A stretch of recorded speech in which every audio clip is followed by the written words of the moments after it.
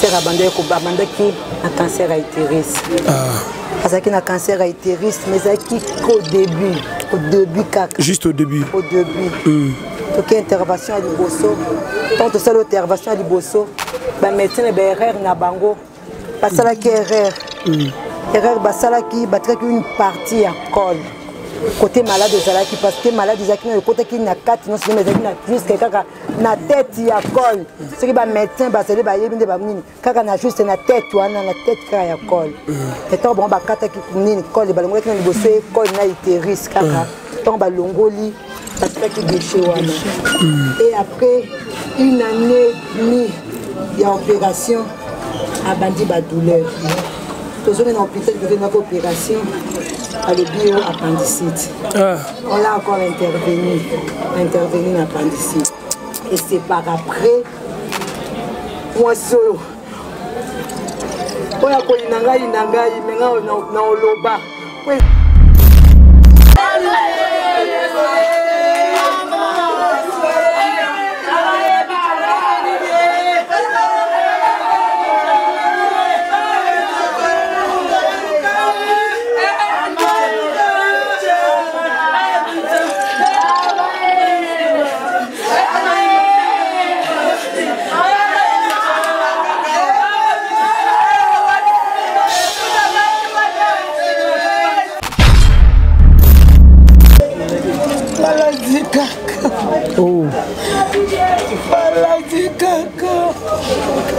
c'est trop dur namoni bafoto ya bana atiki bana combien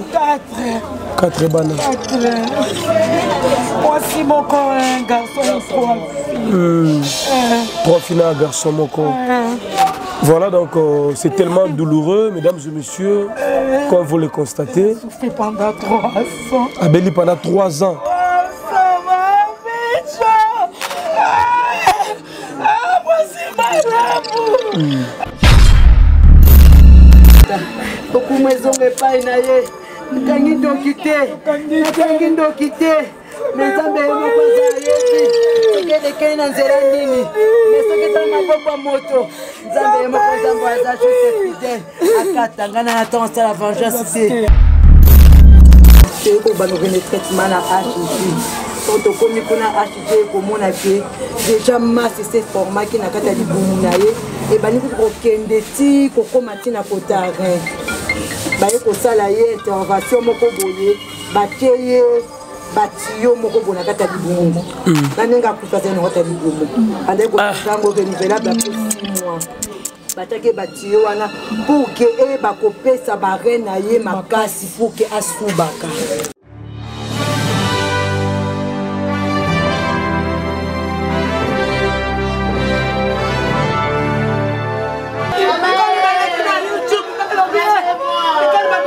nalongola koko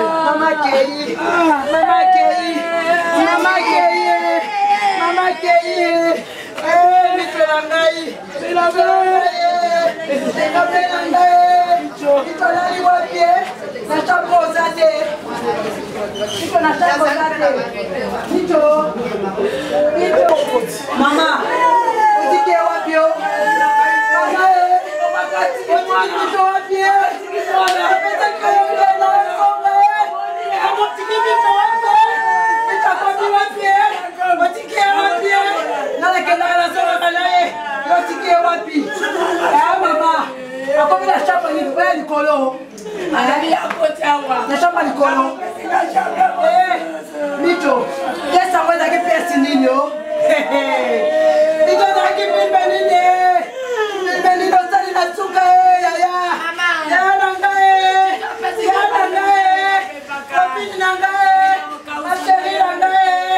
l'ami de tous les jours, mosungi na ngai, Yesu, Yesu. Bito,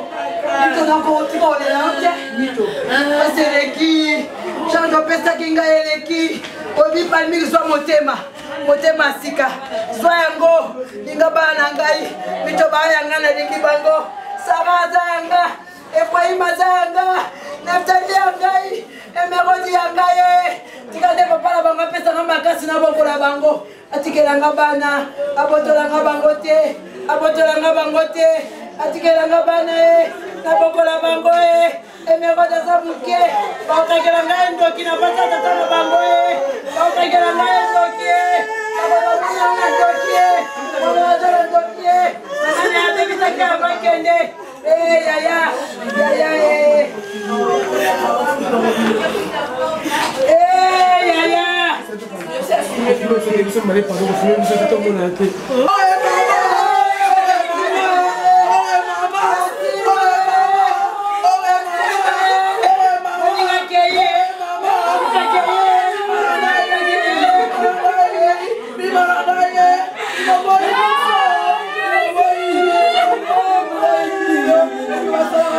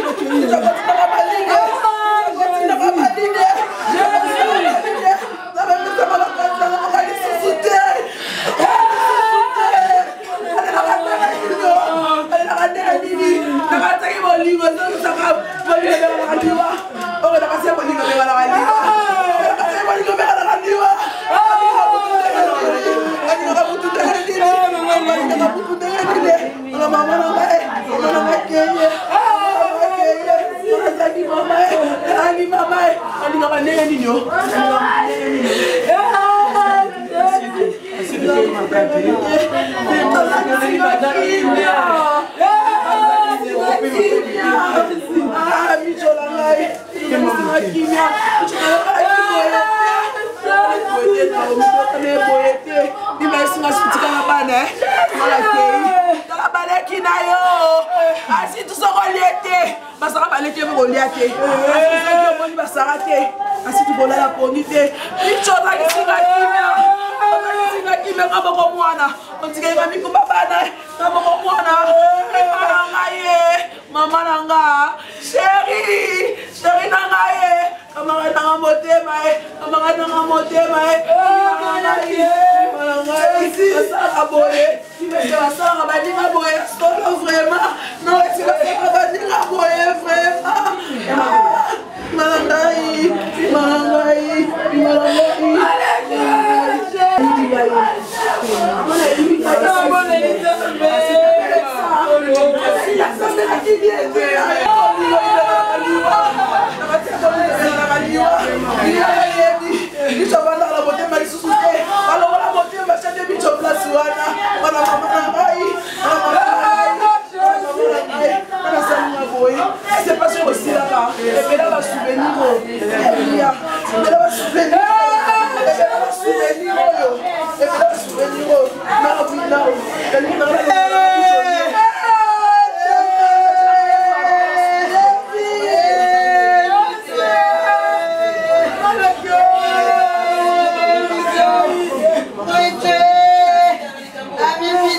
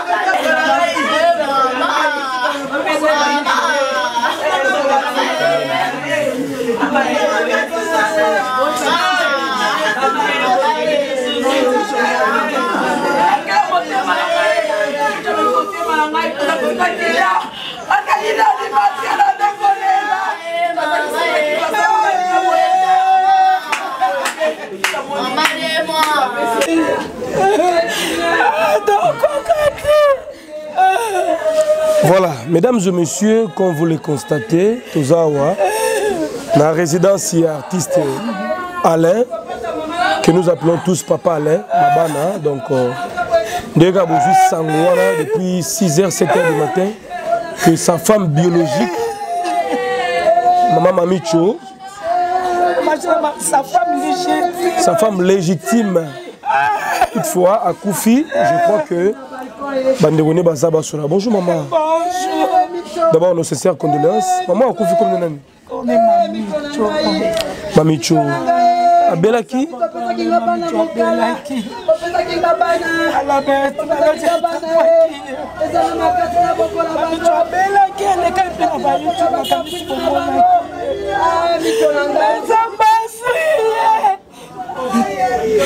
eza eza ndenge bato baoloba teke bakufi na mpasi ya kobota tusa eh, mama jabelaki kaka ndenge alekaka ye moko na youtube bino nyonso bomonaka ye kaka ndenge mpe asengaki na bapriere o bapaster basalaki basalaki bato nyonso baetats-unis ya bachaine nyonso bato nyonso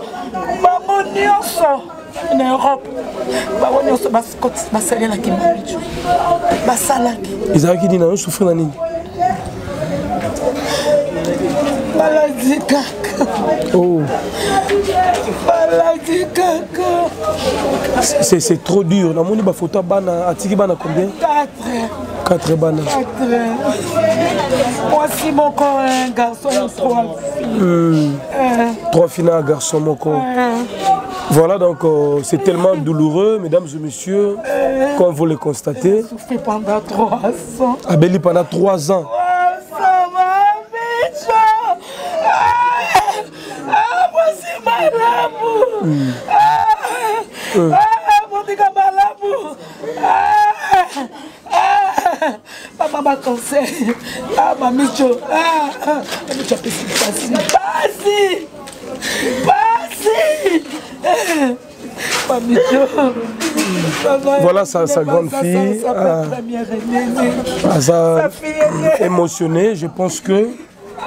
c'est tellement douloureux on a voulu quand même tokoma sur terrain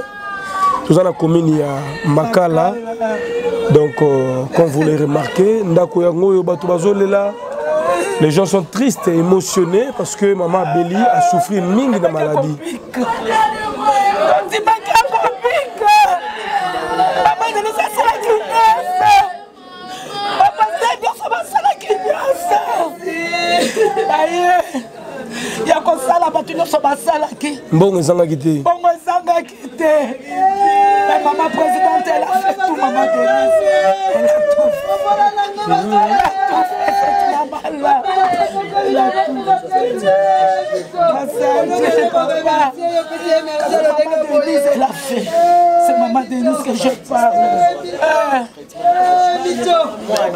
Maman, on va faire de l'eau parce que apparemment tu as aussi à dire. Zela. Zela. Maman, yo le mot Baksanini. eloko obakisa te ye moko to banda osolola na ye abi en tout cas biso topema banda biso basa baartiste tokoma ozwa traitement na hg na compte ya mama denise nyakero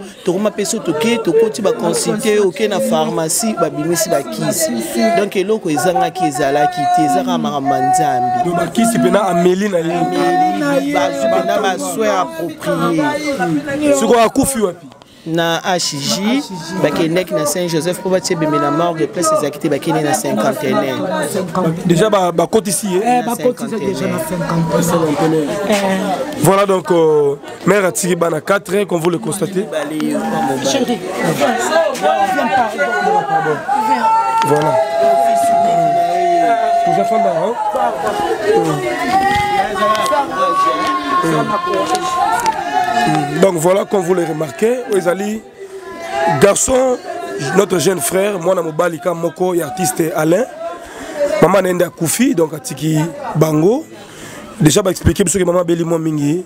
pendant près de 3 ans, mais mbongo ezanga quitté, tongo ezanga quitté, mais ezanga mokano nzambe. D'abord euh, okutana ina maman mikolo bozali na ndako to na hôpital. Non, pendant ce genre de temps ici, elle était d'abord à l'hôpital. Mm. Azaki na hôpital, évolution ezaki nango très bien. En fait,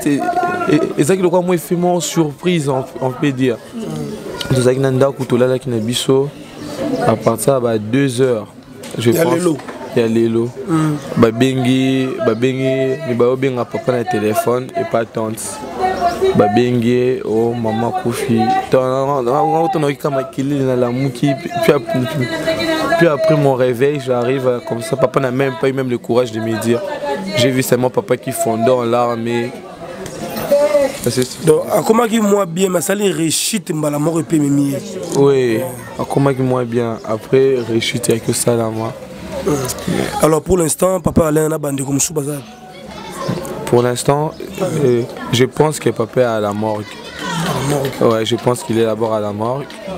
mais je pense que bientôt il peut revenir ici déjà ok ça c'est bien alors soki tokoyeba Maman ozo souffrir maladie nini?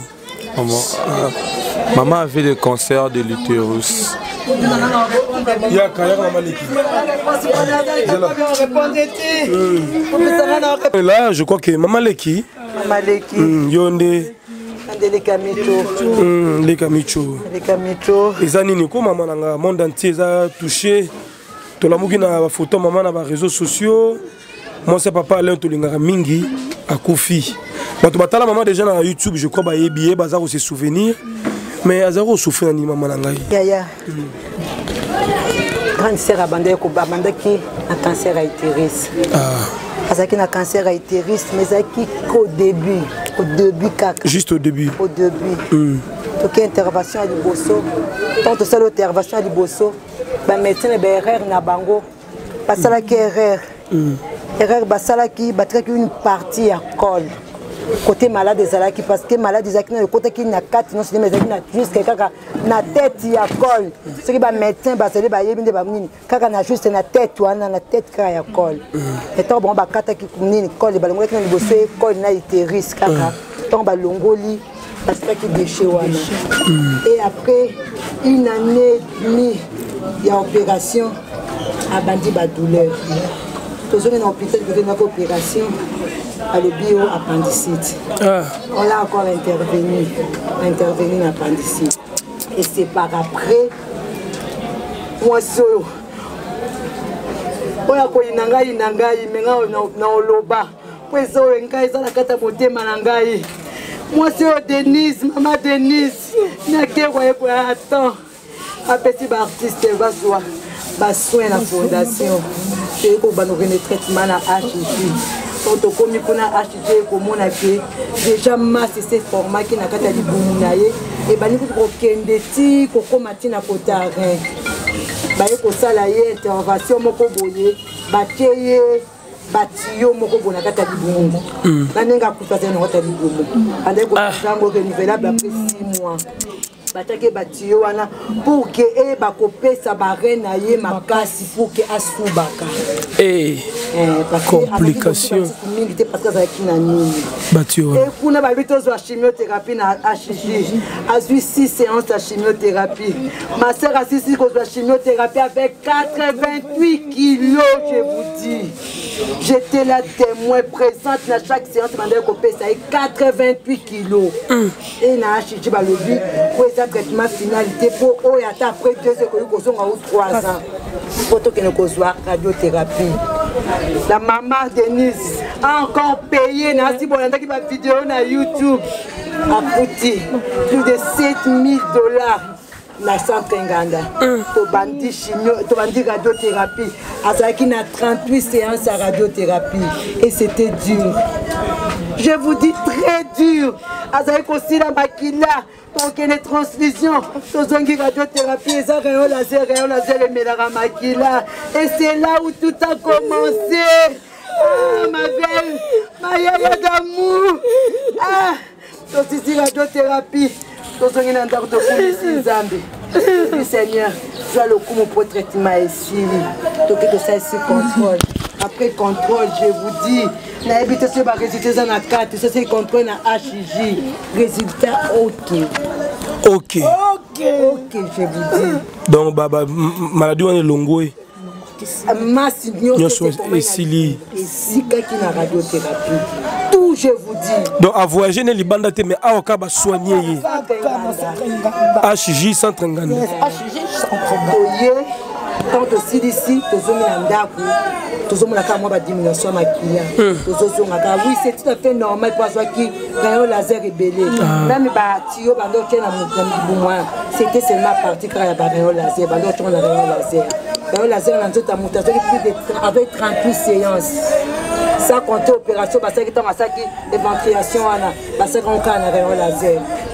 c'était tout à fait normal makila esilaka mais makila ekomi kobota problème tokei toke na hôpital o oh, eh, azwi déchirure ah.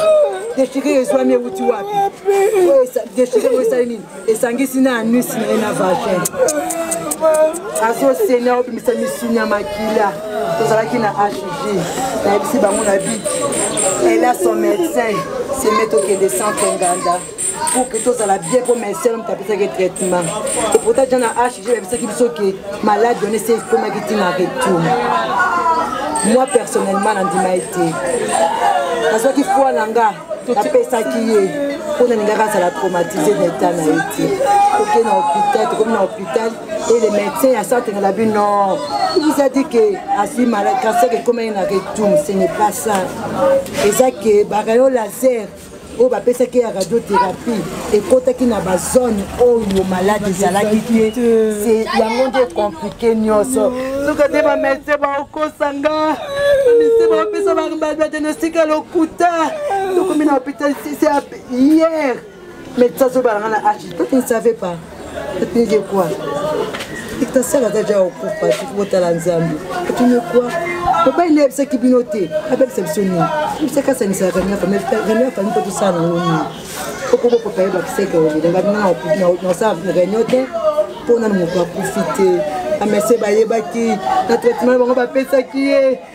soki bapesaki na lolenge nini soki bataki trouble wapi asibi baopération ndenge aza na kufi komai na poche awa parce akokosa esu kaka na anisi te yango malade ya ndeni nzambe na bomoi nzambe azwa lokumu oyo nde apesaka ye nde azwaka lokumu ezonga epai na ye nakangi ndoki te nakangi ndoki te me nzambe ye moko aza ayebi soki elekei na nzela nini me soki ezala maboko ya moto nzambe ye moko nzambe aza juste fidèle akata ngai na natan asala vengeance te je pleure parce que c'est dur nzoto eyoka mpasi me nayebi ke ndeko na ngai mwasi na preparaki ye elle est partie chez aza na maboko ya nzambe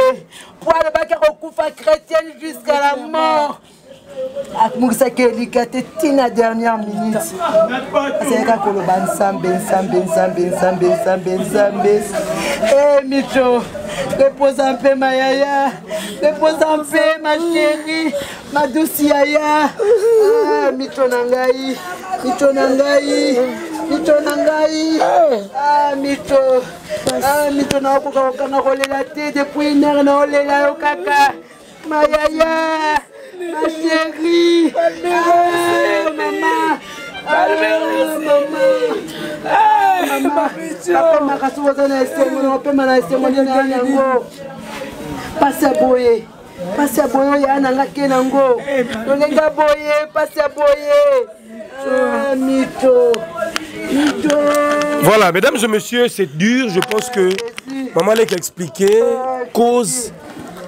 avec euh, beaucoup de précision ya maladie ya mama akufi debi nde ezalaki mabe eh? mabe euh, deshe wana soki abandaki na hg peut-être ebanga na bongo te ete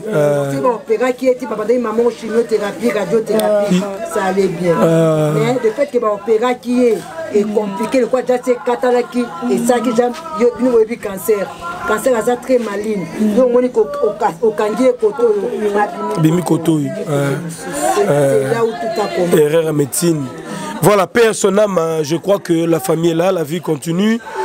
bandeko bazoya famille ezoya baartiste bazalaki mpe wa voilà merci beaucoup mesdames et messieurs merci abonnez-vous massivement